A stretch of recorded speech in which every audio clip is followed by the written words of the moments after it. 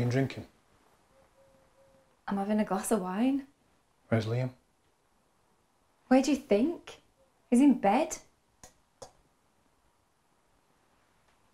It's one glass of wine, Jamie. The rest of the bottle's in the fridge. Have a look. Come on, come No, on, just go on, have a look. Check my bag, check my drawers while you're at it. keep it down. you'll wake him up. Don't you fucking dare.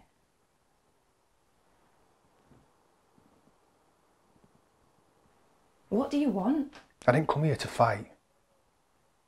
But you know what I want. You're not responding to my messages. I've got nothing to say to you. Taking baby to Spain tomorrow. Staying with Jenny's parents for a couple of weeks. How lovely for you. I didn't want to leave until we got this sorted. Danny, You're not having him. we should discuss it. You're not having him. Where were you when I was a mess, eh?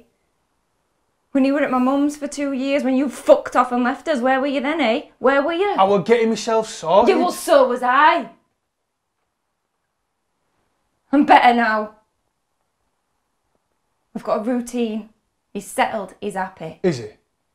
Is he though? Because he keeps asking if he can come live with us. And he's old enough to choose. I wouldn't do this otherwise. Oh, fuck off, Jamie!